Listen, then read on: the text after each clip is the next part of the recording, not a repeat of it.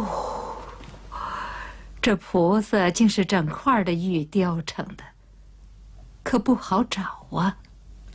额娘，这是十四弟花了好大功夫从几千里外请回来的。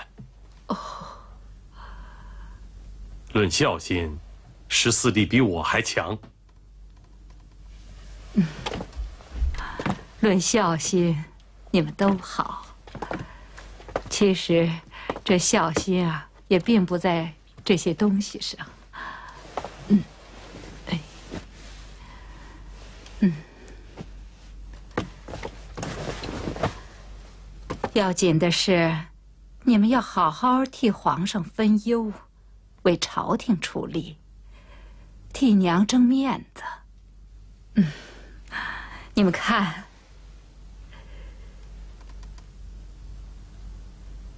要不是你们兄弟替我争气，哪来这么多人送礼贺寿啊？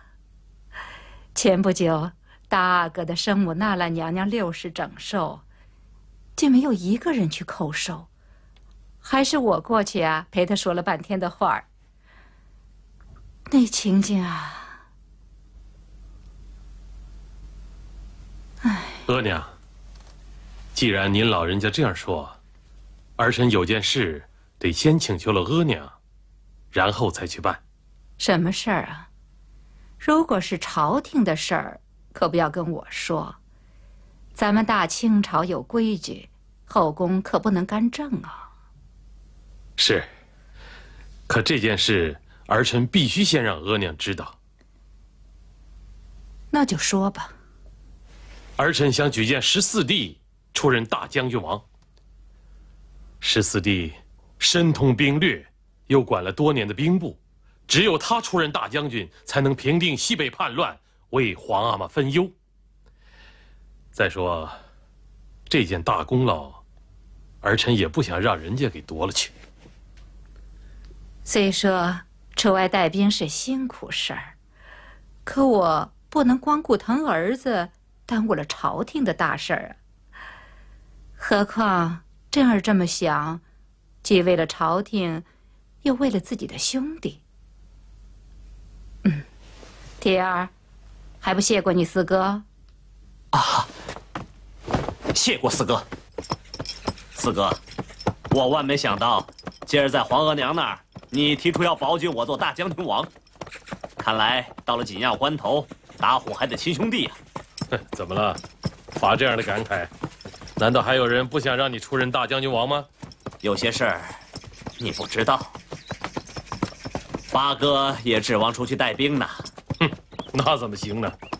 兵者，国之大事，他不懂兵略，怎么能带兵呢？是啊，可不知道皇阿玛是怎么想的。十四弟啊，不是四哥说你啊，做人做事不能光往这方面想。比方说。西北那么大战事，关系到朝廷的安危，首先就应该想到的是，谁能够带兵取胜。在咱们阿哥当中啊，也就一个老十三，还有一个你。可是叫我举荐，我第一个就要举荐你。为什么呢？因为十三弟的外公是科尔克蒙古大汗，倒不是说他去带兵就会反叛。而是啊，牵了这层关系啊，就会影响军心。我举荐你，那是为了朝局，是为国举贤。我不在乎人家说什么亲亲疏疏的。四哥，既然你抛了心里话，我也不藏着掖着。倘若皇阿玛真让我到西线去领兵，这后援粮草还靠四哥支撑我。嗯，我现在管着户部。当然，后援粮草靠我来支撑你。不过，朝廷征调粮草，一般是由陕甘接应，所以陕西、甘肃才是最紧要的地方。四哥，我有个想法，不知你以为如何？说。如果真是我出任大将军王，我想保举年羹尧做陕甘总督。这话你不说，我还真不好提。论才具啊，年羹尧最可靠。要是十万大军后援不缺，也只有年羹尧最合适啊。一言为定。今儿叫你们来，主要是商量一下西北用兵的事儿。传尔丹轻敌冒进，致使六万兵马全军覆没。朕决定从皇子中，择一贤者代朕出征，封大将军王。英堂，你有什么话要说吗？回皇阿玛，印提现管兵部，儿臣以为。应听听他的见解。是啊，应提事管兵部，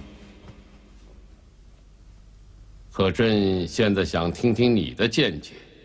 这，儿臣以为，阿哥带兵只是个做盹的主帅，要紧的是运筹帷幄，将士用命。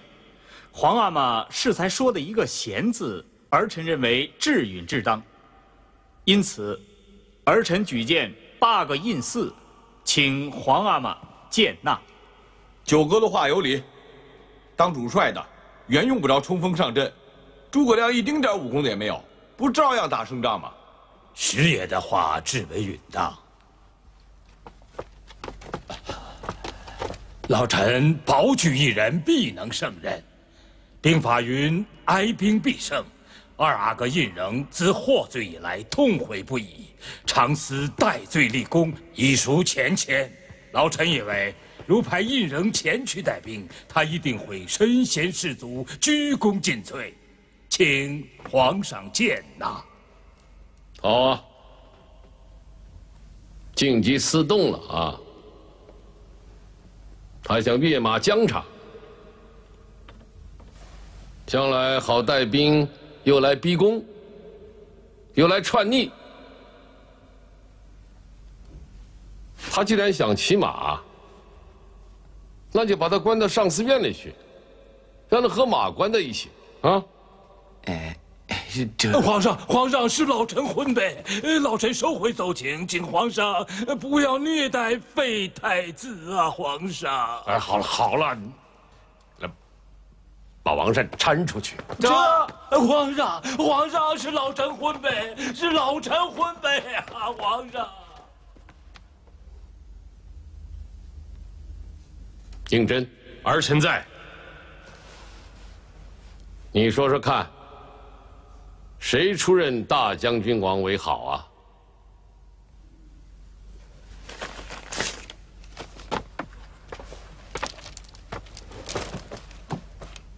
儿臣写了个折子，敬呈皇阿玛御览。哦，你说说看，你保举的是谁呀？回皇阿玛，儿臣举荐十四弟出任大将军王。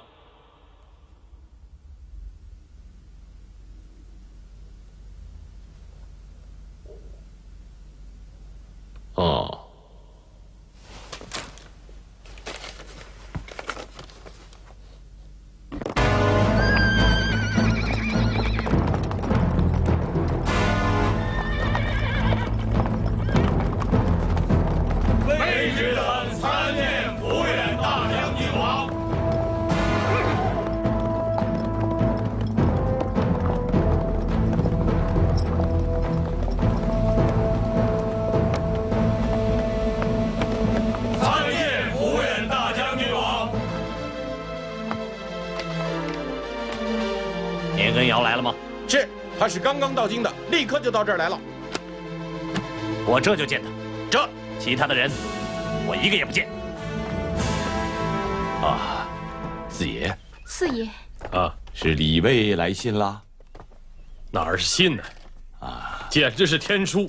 啊，嗯，嗯，这，这，这，这，这，胡先生啊，我来念给你们听。好好好，主子。奴才李卫狗儿率老婆翠儿和主子富普盖头了。和主子富普盖头了？哎，这，这是给主子福晋磕头啊！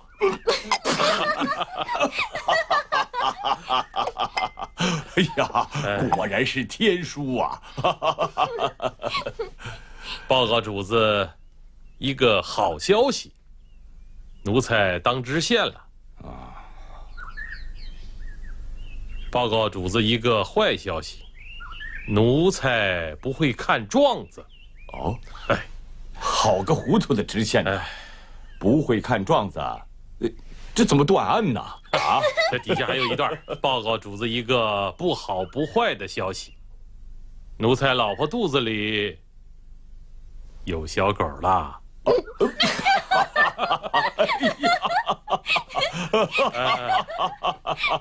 哎呀，王爷不要念了，不要念了，不要念了。哎，还有最后一句，也是最要紧的一句。嗯嗯。最后报告主子一个大消息：年羹尧进京了。嗯，年羹尧进京了，他自己好像并没有禀报过王爷啊。是啊，我也正在纳闷啊。四爷，不知为什么年羹尧突然到北京了，而且到处乱窜。哦，他现在在哪儿？现在好像又到八爷府去了。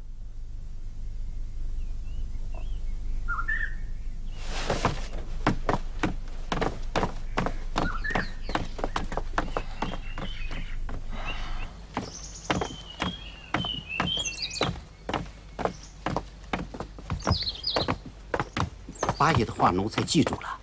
到西北后，奴才会随时把那里的情况报告八爷。八爷，十四爷领着年羹尧来了。哦，快请。这，你去吧。这。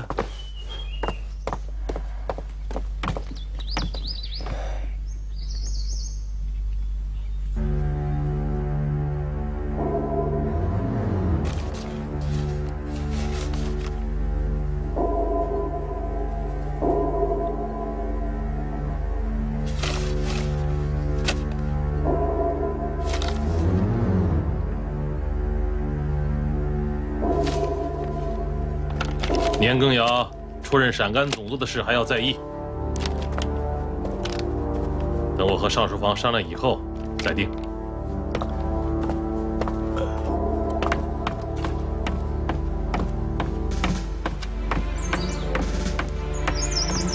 羹尧这次能接任陕甘，多蒙八爷和十四爷的提携。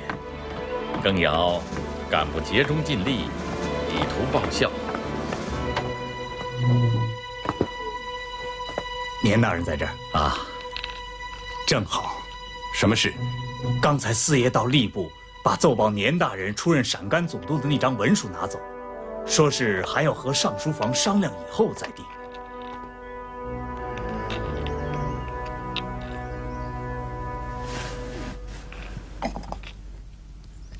梁公，到京后你还没有见过四爷吧？哎。那你快去吧。哎，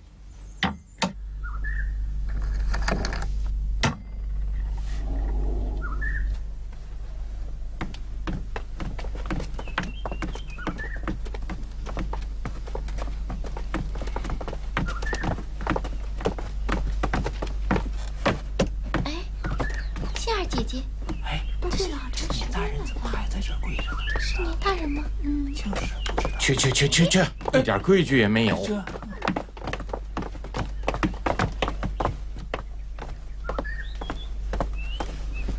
年大人，福晋说让您起来，有什么话待会儿跟四爷说。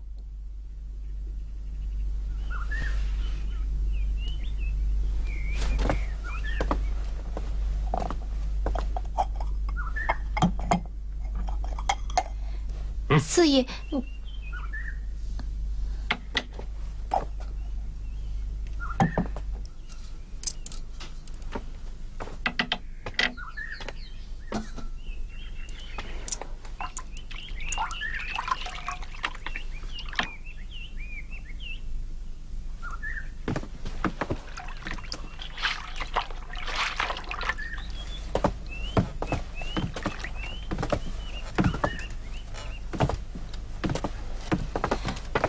福晋吉祥。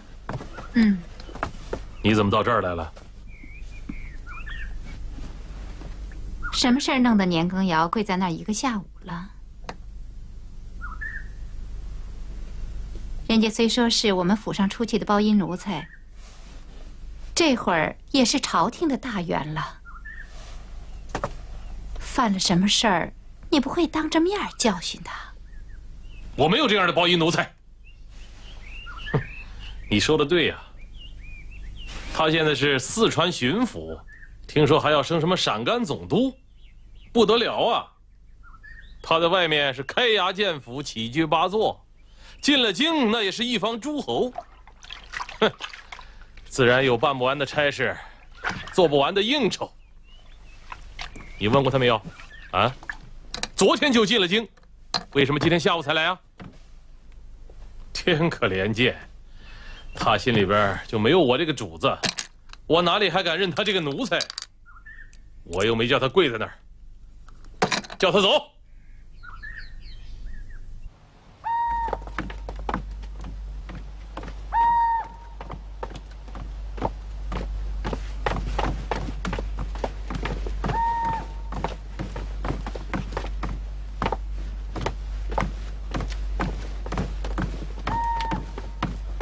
奴才年羹尧叩见主子。哟呵，这不是年大人吗？几时进的京啊？公事都办完了，啊，快起来！我怎么受得起你的头啊？别折死你四爷！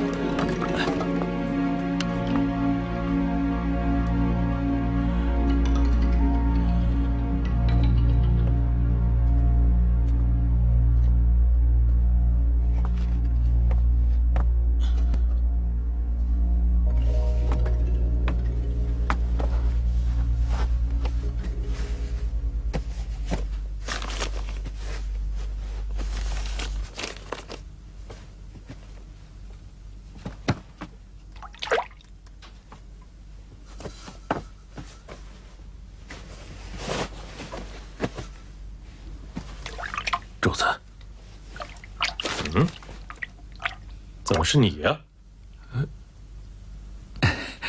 主子，哎哎，不行不行不行，来人，来人呐！奴才在。该死的奴才，怎么这般没规矩啊？嗯，高勇，呃，奴才在，把他带下去，打二十棍子。哎，主子，是奴才自己愿意伺候您的，与他们无关。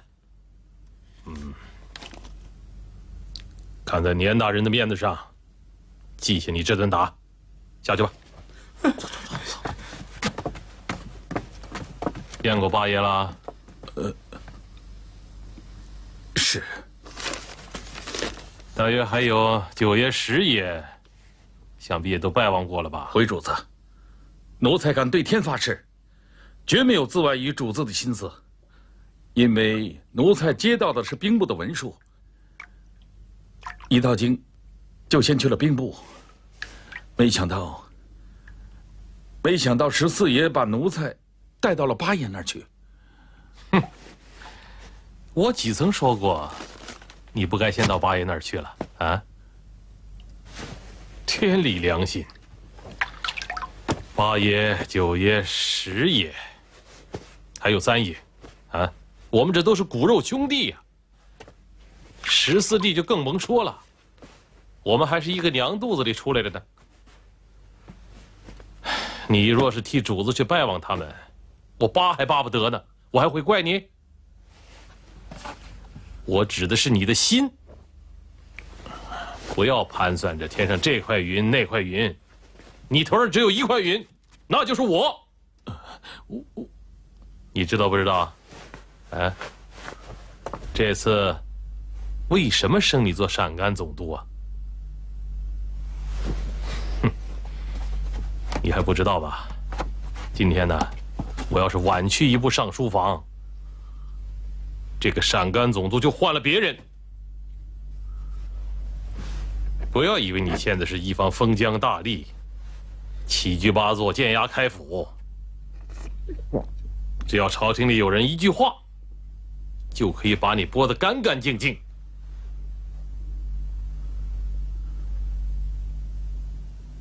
奴才再糊涂，这一点也不会忘记。奴才这棵树枝叶无论长到哪儿，根总是在主子这里。千错万错，总是奴才做事不当。才惹到主子生气。这回奴才能接任陕甘总督，就一定替主子争气；如不能接任陕甘总督，奴才也一定在四川好好干，绝不辜负主子的深恩厚义。我教训你，为的是你好。你要知道，你是我奴才中出去最大的官儿。我对你期望越深，责你越严。唉，北京这么乱，你一个人出去胡走乱闯，惹出事来，谁来保你？你当你委屈啊？就连我，也是不敢多说一句，乱走一步路啊。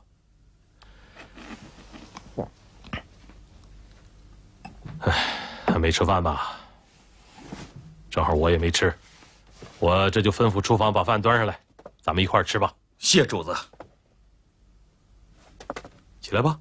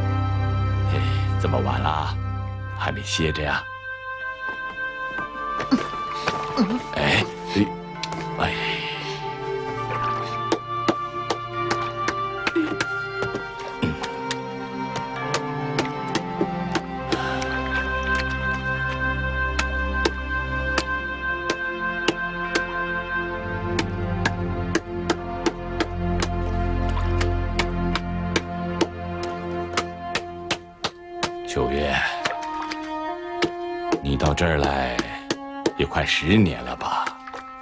记得当时你才十来岁呀，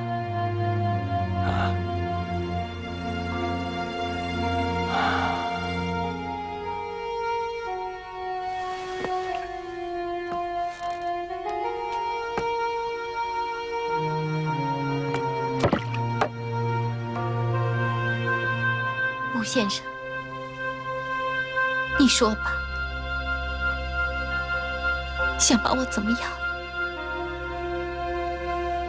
我不过是一个从死囚牢里放出来的犯人，一个六根不全的行于之人罢了。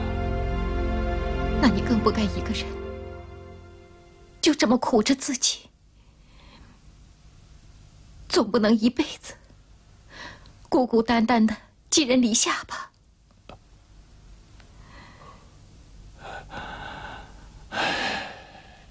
秋月，吴先生，难道我们就真的没有那一天吗？秋月，你记住我一句话：你早晚是四爷的人。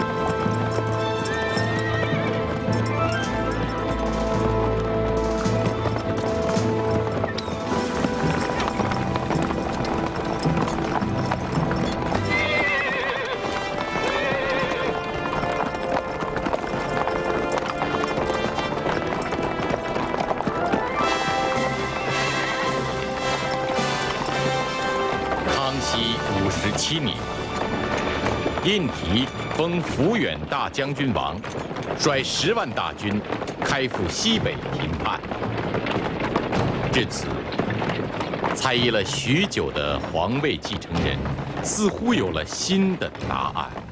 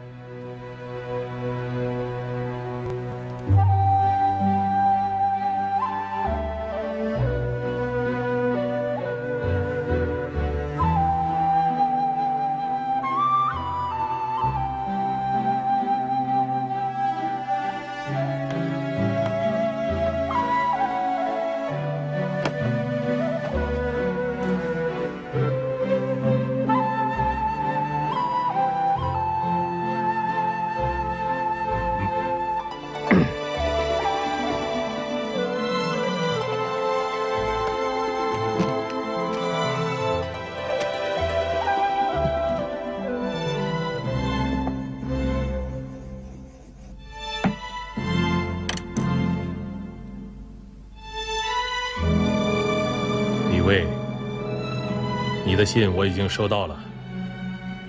满纸的白字儿，怎么做官呢？你要多读书，要做一个好官。记住，把年羹尧的情况随时告诉我。顺便说一声，吴先生做媒，我已纳秋月为侧福晋了。王爷，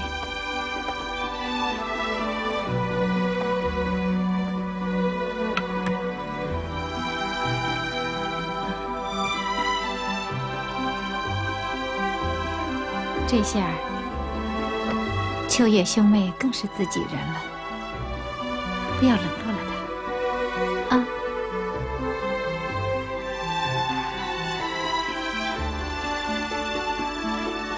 今康熙六十一年三月十八日快到了，这一天是康熙皇帝六十八岁寿辰，更是他登基满六十、跨六十一年的大庆。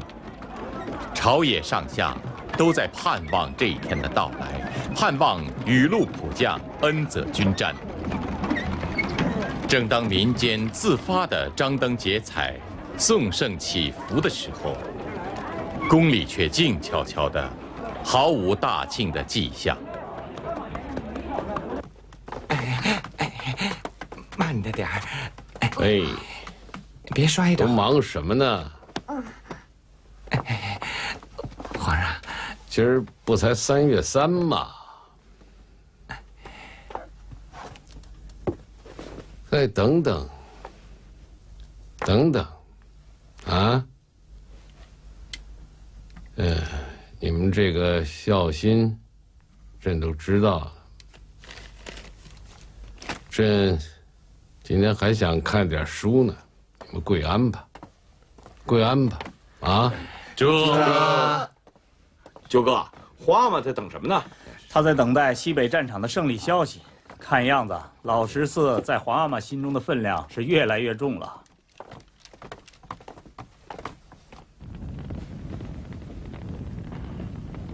十四弟如晤，时机尚未成熟，千万不可出兵。须知道，我军凯旋之时，也即武帝解除兵权之日。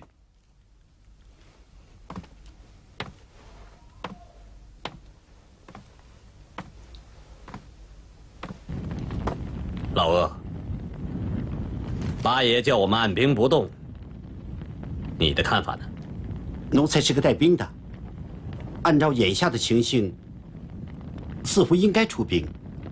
可八爷他这样认为，我觉得必有他的道理。什么道理？无非就是怕我们打了胜仗，压了他。十四爷，您怎么能这么说？你觉得我这样说是反叛的，对不对？这，十四爷，老子，你太老实了。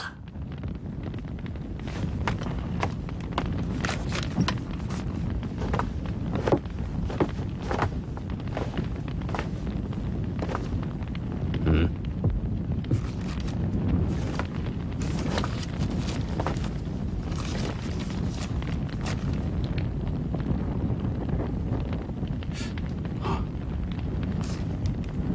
十四爷，这信从哪来的？你先不要问是从哪儿来的，你只说，这是不是八爷的笔记？这确实确实是八爷的手机。可八爷为什么要这样对我？人心难测呀。八哥待我原本也无话可说，可是就为了这大将军一职，他才开始怀疑上我了。派雅各奇、塔宁来监视我，后来见我重用了你，就疑心你倒向了我。这不，他一边来信叫我按兵不动，一边派人给雅各奇捎信，叫他暗中放你的冷箭。这下，你明白了？娘的，我真瞎了眼了！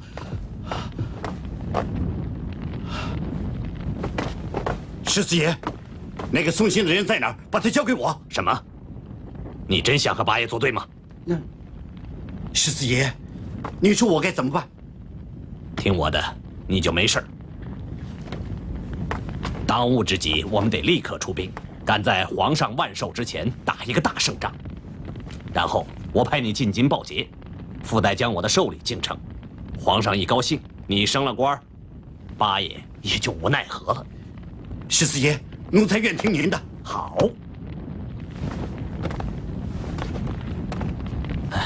我现在唯一担心的是粮草。年羹尧，我已经去了几道命令，他总是借故推搪，没有粮草。我想打这仗，也没把握。快点，快点！哎，过来，放到这儿，放到这儿。扎紧点。这儿。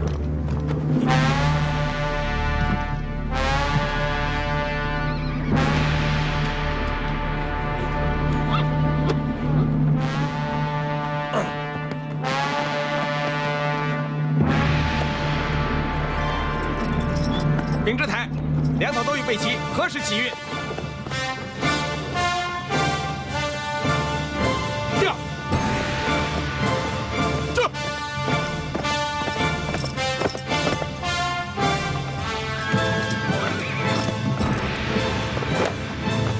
大人，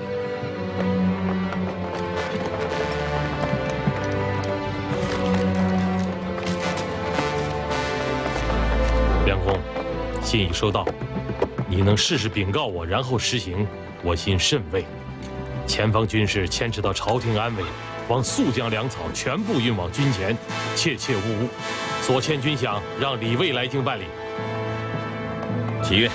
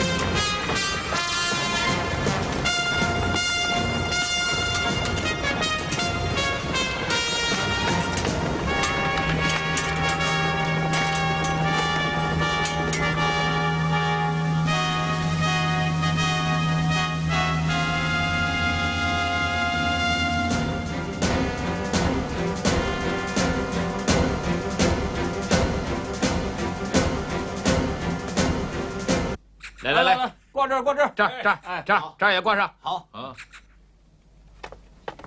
啊，好，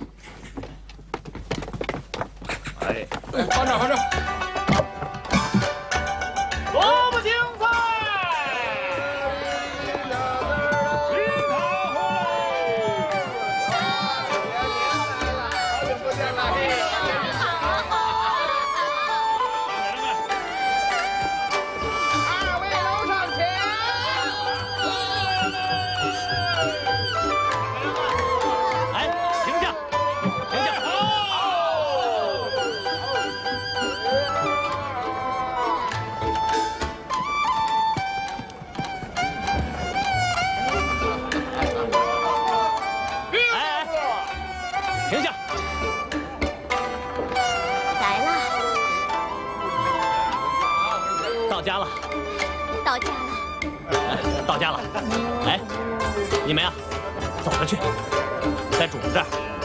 可没咱们坐轿子份儿啊。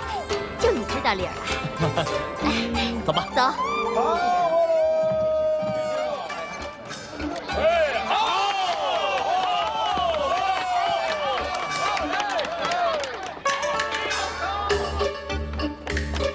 主子，主子，主子，主子，想死奴才了！好你个小狗崽子！奴才李卫、翠儿给主子叩头，主子哎万起来福万安。都起来吧。哎，怎么，走着来的？啊，嗯，做粮到了，小气的连叫钱都舍不得了。哎，这 你不嫌寒碜？可人家翠儿大小也是个四品夫人嘛，怎么能让人家走着来呢？不是我，回爷的话原是坐轿来的，到了胡同口啊，狗说在主子面前坐轿不恭敬，这才走了进来。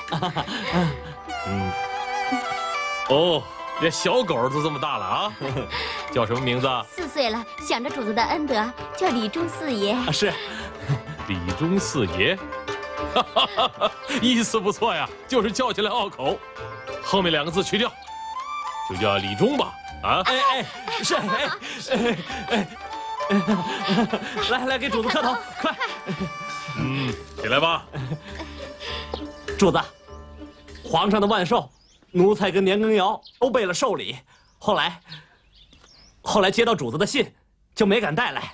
啊，我现在要赶到宫里去，你们先去看看福晋，啊，过后李卫到凤婉亭吴先生那儿等，晚饭咱们一块儿吃啊。起轿。